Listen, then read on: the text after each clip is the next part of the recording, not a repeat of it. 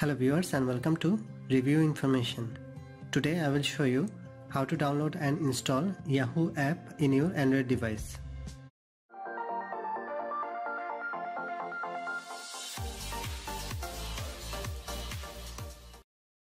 Go to the Play Store from your apps list. Tap on the Google Play search box and type Yahoo.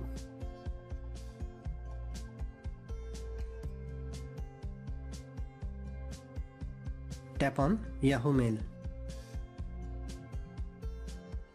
Then tap on the install button. Yahoo app is now downloading.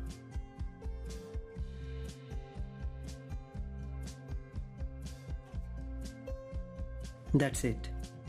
Yahoo Mail is successfully installed. Now tap on open. So that is how you can download and install Yahoo Mail app in your Android device. Thanks for watching. Hope you guys enjoyed my video. Please subscribe my channel for more videos. Goodbye.